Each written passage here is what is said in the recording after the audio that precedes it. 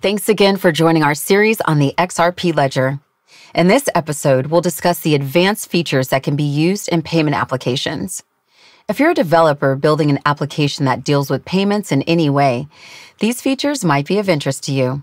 They add another level of functionality on top of the speed and low cost of transactions that the ledger provides.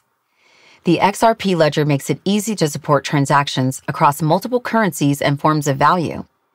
Payments can be made directly in the ledger's native asset, XRP, or with any asset tokenized on the XRP ledger US dollars, euros, Bitcoin, gold, or stocks, for example. Two powerful methods that complete payments across different currency or value types are called auto bridging and pathfinding. These use the built in decentralized exchange to automatically convert a payment from one currency to another currency, or one asset to another asset, to help complete a payment quickly and efficiently and at the best price. To learn more about auto bridging and pathfinding, watch the video on the decentralized exchange in this series. As with any financial transaction, security is extremely important to end users.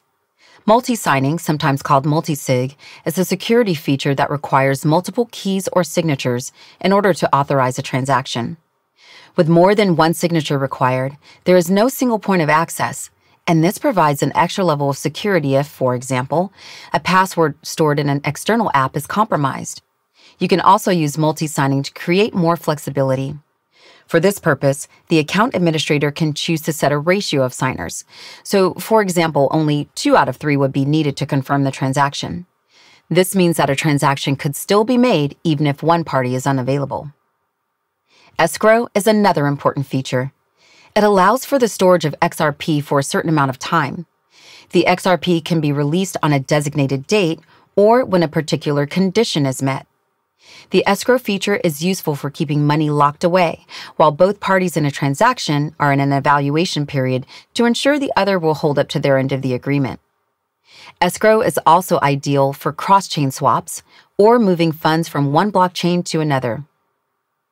Payment channels allow for even faster XRP payments that can be divided into very small increments and then settled later. While the XRP ledger already facilitates payments within seconds, there are use cases where payment channels would be beneficial, like streaming payments, pre funding accounts, or setting certain credit limits. A common example is for websites where content is monetized by the amount of time a user spends reading. Payment channels mean that only the time used is paid for, down to the second and fraction of an XRP. An important note on how these payments are processed. While transactions are opened on the XRP ledger, the payment channel operates independently of the ledger, which is how they're settled so fast. Once the maximum limit is set, those smaller payments are debited and a claim is issued for the transaction. Those claims are then bundled for settlement back on the ledger as a whole.